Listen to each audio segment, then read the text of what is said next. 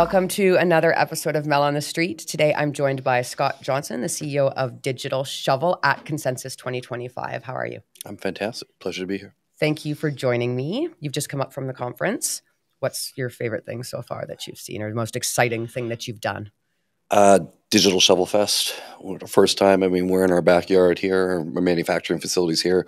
We've wanted to do a big side event where uh, we can showcase our product, not just showing it, but actually build a live Bitcoin mining farm that people can actually see in person. Uh, create a little bit of an immersive experience, show off some of our new tech. Um, it is great to see how much Toronto is embracing uh, Toronto Blockchain Week with consensus coming here. The turnout's been absolutely amazing at the conference, and the number of side events just showcasing how big of a crypto community we have here has been awesome. Yeah, so the, uh, you just dropped this product. You announced it during consensus. Can you tell me about it? Show us what it is, why it's exciting, and why it's a big a big deal. Yeah, so uh, this is the Digital Shovel BluAx. Uh, it is based off the Bitaxe uh, open source platform. Shout out to Skot and the whole Bitaxe crew. Other Skot, Skot with a K. Um, this is our variation of it of a at home lottery miner. Um, so this can sit on your desk. It takes the same amount of power that charging your cell phone would. Every 10 minutes, a new block is solved. So this is trying to guess a puzzle that gets the right to solve that block or to process that block. Okay. If you are lucky enough to do that, in today's money, in Canada, in Canadian dollars, you would get four hundred forty-seven thousand dollars, and this thing costs hundred bucks. And there's a draw every ten minutes. Over what time period are we talking for that kind of money? Well, your odds of hitting a block in a year are about one in twelve thousand. Okay. So they're not great, but you compare that to like let's compare it to the Powerball, which is one in three hundred million. Um, you know, it's not a sure thing. Yes, you could turn it into a conventional miner and connect it to a pool and get a consistent payout, but you're going to get like 10 cents a day or something like that. People are buying this as you know, a lottery ticket that there's a draw every 10 minutes. Um, there's a second version, a pro of that, that has better odds. It's six times more powerful, so roughly six times better odds uh, that we're going to be selling as well. Um, there are, we're not the first ones to create this, but we are the first ones at this price point. They're usually like 200, 300 bucks a piece. Uh, we're trying to make it so everybody has access to Bitcoin mining, the Bitcoin network, and helping to decentralize Bitcoin, um, moving away from the centralization that we see around mining pools. So this is made from a lot of experience, right? You've been mining uh, crypto for many years, and you've built over fifteen hundred mining containers. What what have you learned from all of this? What what can you tell us what the purpose is of it, and what where where you're going next? Um, what I've learned, I don't you you can't ever get comfortable. You can't be stagnant. You need to constantly be evolving, uh, which is part of the reason why we are such a vertically integrated company. Like we manufacture almost everything in house, other other than the actual blank circuit board. We assemble this entire PCB in house in Canada. Uh, we, you know, we were onshoring before it was cool. Okay. Um, it allows us to pivot very very rapidly. Yeah, just like like I said, just don't get comfortable. Uh, if if if I'm doing the same thing for too long, I get bored, yeah. um, which is I, th- I think has been an advantage to our company. So what what do you do to innovate then of within the mining containers? Is there innovation happening within those actual containers? A lot of people don't even know what they look like, right? Or can't imagine what it looks yeah, like. Yeah, so conventional containers had you know a bunch of servers. I don't think of it. We, we originally started with shipping containers. We build our own pods now, um, but you know conventional containers had a wall of filters on one side, a bunch of servers, fans that were sucking the hot air out the other side. Um, our new technology we've moved to, uh, our, our, marketing slogan is "Blow Don't Suck." Um, it blows cold air in, pressurizes the cold side, and then eva- and exhausts the hot air out the other side by creating that pressure zone on the other side, um, which allows us to create a, a much more effective ventilation method. Um, and deals with some of the new miners that are in the market that have a much much higher power density. I want to pivot now. Um, you there's so many crypto conferences. You have to sort of choose now which ones you're going to go to instead of making sure that you're at the the one or two that happen per year. And but there's been lots of consensus, but consensus is. but this is the first time that you've done a digital shovel fest. Yeah. So why now? What what made you decide that this was the time? So traditionally, we don't do events like Consensus. A great event, no knock to them. But the problem is there's such a small percentage of Bitcoin miners that are there. So if we do a booth, Okay. our booth will be slammed. Like everybody will come in, they want to see. It's like it's something you can actually touch and feel, which is not Yep. common in the industry.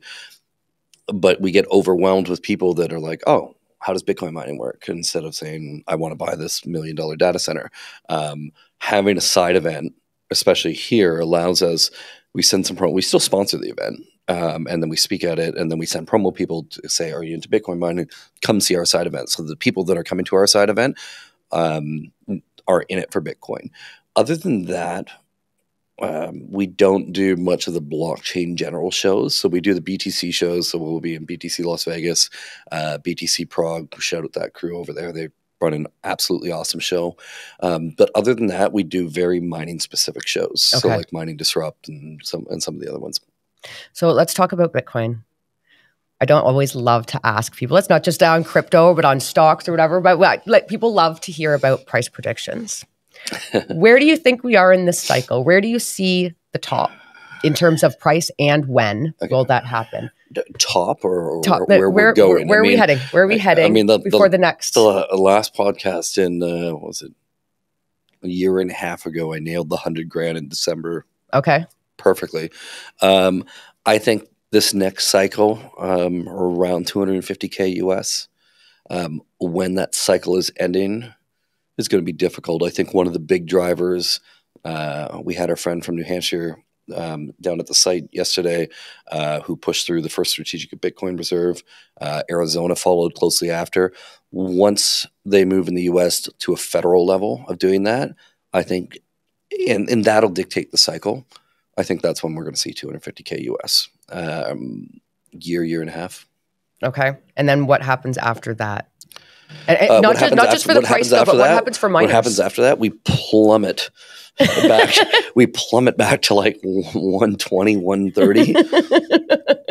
oh yeah, there'll, there'll be a death candle going down. It'll Yeah. it'll happen. Yeah. Uh, but that's Bitcoin. Like I tell everybody and, and friends that are like, oh, where do you think it's going? Should I buy now? It's a good time. I'm like, bro, just buy. You come talk to me in five years or four years, and if you're down, I'll pay you back. Okay.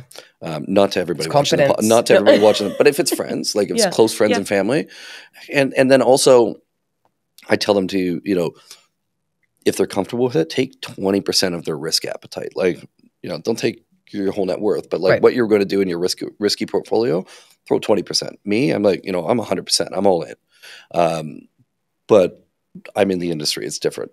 Um, but yeah, that's where I think that cycle is going to go, and people have to be ready for that volatility. Um, we've become dramatically more stable Yes. than we were historically. Mhm. Um, but yeah, you'll still see that huge up and down. Same way when we had 109, you know, we plummeted back. 70 was 70s was a great entry point, even low 80s. Yeah. Uh, back at what 102 today, I think. What does that mean for mining, though? You've been in it a long time. So, how did the, these big price fluctuations, volatility, how does that affect your business? you know, it, it's it's always that kind of up and down. There's so many factors that play into it. Um, you know, the the price of mining equipment and infrastructure is always a lagger to Bitcoin price and difficulty. Um, people that are outside of the indus- industry don't often factor in the difficulty rate.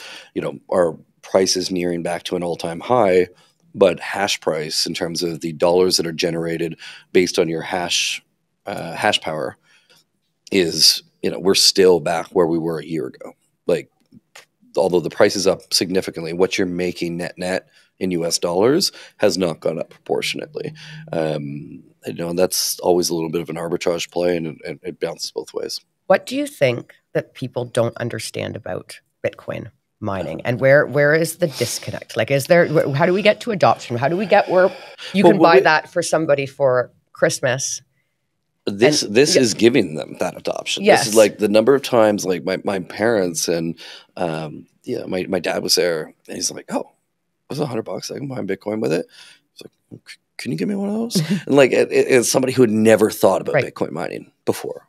And and this is another reason why we did consensus is because the you know the the the regular people, the regular market out there, um, are now being like, okay, I can get. They'd never thought of getting into Bitcoin mining before, um, but to your earlier question in terms of what one of the biggest hurdles is, and you know, biggest bigger misnomer is this whole thought that Bitcoin is is bad for the environment and Mhm. or bad for energy prices when it is so much the opposite.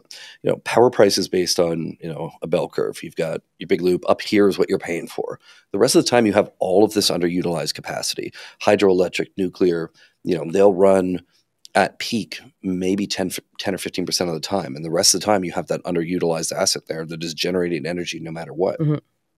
Bitcoin mining can come on, take that excess um, excess energy, create revenue for that resource, and now it lowers the cost for everybody across the board by doing that. Right. So, in terms of uh, adoption, so there's education, right? So, in order to get more people on board, we need uh, education, trust. Um, another thing that I had said is product. Having an actual physical product that people can like hold in their hand helps the experience and then understanding and education and and trust as well. I was saying in my last podcast, one of the things like the, the Bitcoin community used to pride itself on community, small community. Right now, we want everybody to understand and everyone to be a part of it. It used to be an idea. Like, what's Bitcoin? You can't hold it. You can't see it. So, is this part? Is that is that part of your idea? Where?